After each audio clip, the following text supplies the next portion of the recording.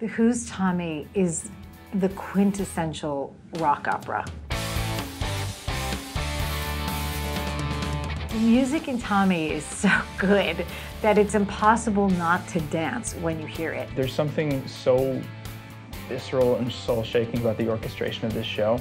I mean, it is so hardcore and it's so timeless. It is classic. I mean, it's not that it's classic rock, it is classic rock. Every time I hear those like crunchy guitars, that's like right before I'm free.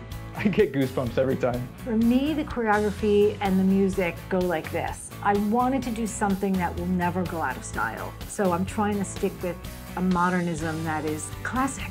Audiences are always going to love the music of this story. Music can transcend all our other basic senses, and we get to see this character who sort of experiences the world through like a musical consciousness. You know, in 2023, after everything we've gone through, it's a very different world than when Tommy was first created. I think everybody in the audience is going to feel very connected to Tommy in a way that they might not have been back when it was first out. Tommy will forever evolve itself as pop culture evolves. I can't wait to bring Tommy to Chicago audiences. It's gonna blow everybody away.